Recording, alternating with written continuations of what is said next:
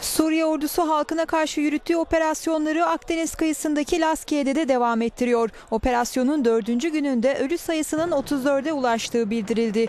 Ölenler arasında 2 yaşında bir çocuğun da bulunduğu belirtildi. Ordu denizden ve karadan kuşattığı için kentte yaşayanların bir yere kaçamadığı, su, elektrik ve telefon gibi hizmetlerin de kesildiği aktarılıyor. Şehirde bulunan Filistin mülteci kampından da binlerce kişinin kaçtığı bildirildi.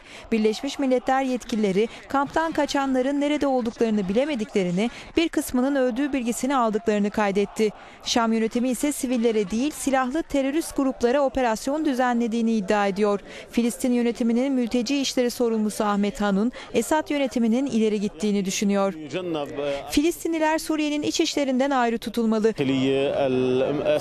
Filistinli mülteciler ve Suriye'de yaşayan Filistinliler bu ülkedeki çatışmanın dışındalar. Suriye'nin son saldırısı Batı şeriatı Gazze'de protesto edildi. Ramallah'ın Manara Meydanı'nda toplanan onlarca Filistinli ellerinde mumlarla Şam yönetimini kınadı. Filistin yönetimi de Şam'dan ülkedeki Filistinlilerin hayatlarına sahip çıkmasını istedi.